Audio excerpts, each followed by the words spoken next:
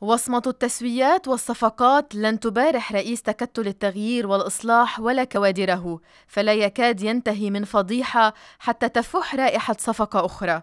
هذا السلوك ينتج عنه خسائر سياسية فادحة وتداعيات سلبية لا تنتهي مع مرور الزمن.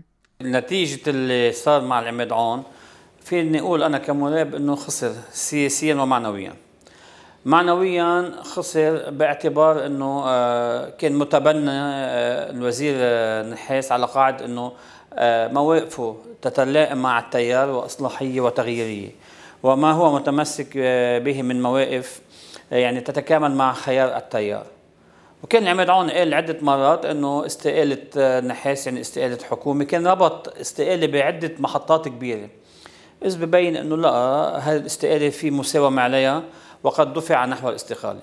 هيدي بالنقطة البداية. بالنقطة المعنوية إنه خسر كمان هو بالمد يعني بالناحية المعنوية كمان خسر باعتبار إنه هو زعيم مسيحي مشرقي عم بقود معركة الحضور المسيحي قدام رئيس الحكومة السني. إذ ببين إنه هو الزعيم المشرقي قد انكسر في هذه المعادلة. وضحى بوزير نتيجة تسوية عون الذي نفذ توجيهات حليفه الاستراتيجية فيما يخص استمرار عمل الحكومة أقصى وزيرا واختار آخر يلقى رضا حزب الله أيضا. أنا بعتبر بهذا التعيين تقلصت حصة العماد عون من عشرة إلى تسعة وزادت حصة حزب الله وزير. النقطة الثانية أنه آه، في رفع من مستوى المواجهة بما خص موضوع المحكمة.